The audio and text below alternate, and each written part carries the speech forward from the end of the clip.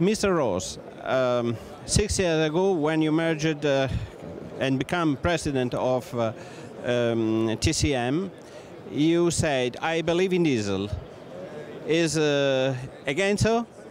Uh, it's very much so. Uh, we believe that uh, that uh, diesel and Jet A powered piston aircraft engines are the way of the future. They're going to open up the international market for small aircraft. It's going to be very important that we see this stuff come out because it solves the fuel question, not just of availability of avgas, but the availability of a single fuel on an airfield. So we're committed to it. We offer today 135 horsepower and 155 horsepower engine. We'll be releasing from production start our new 230 horsepower diesel engine, and we're actively developing a 300 plus horsepower engine as well.